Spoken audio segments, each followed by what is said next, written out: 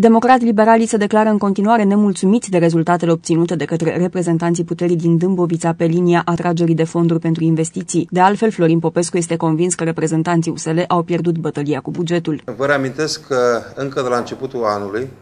am solicitat uh, celor de la USL, în special uh, uh, liderului PSD Adrian Țuțuianu, să se implice în atragerea de cât mai multe fonduri pentru județul Dâmbovița, pentru că aceste fonduri creează locuri de muncă sau le mențin pe cele actuale. Am uh, revenit uh, după o săptămână observând că nu se întâmplă nimic, solicitând încă o dată sprijinul,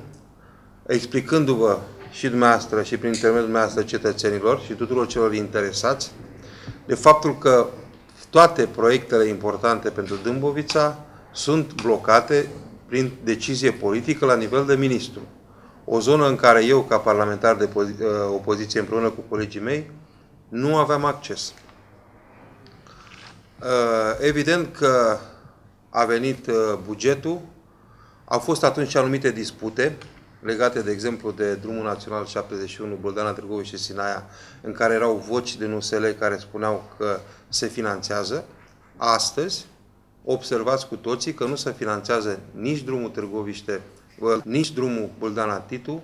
nici centura Târgoviștei, nici centura Titu, nici centura Găiești, campusul universitar cu 20% din fondurile care sunt, uh, de care era nevoie ca să termine prima etapă,